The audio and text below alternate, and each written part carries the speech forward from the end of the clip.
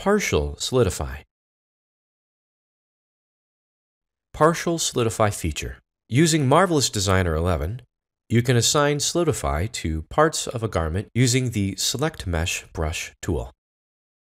Toggle the Select Mesh Brush tool, then left-click and drag your mouse to select the area you want to solidify.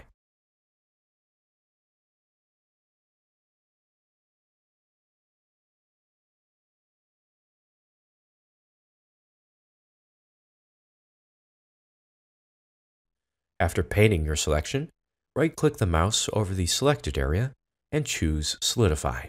You can see that the highlighted color changes, which means the area is now solidified.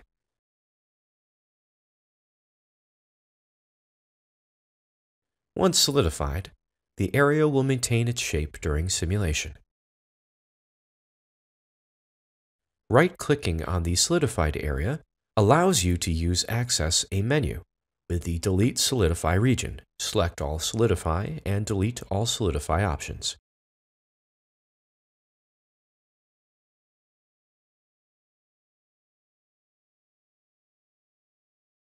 This pop-up menu is available while using the Select Move tool as well.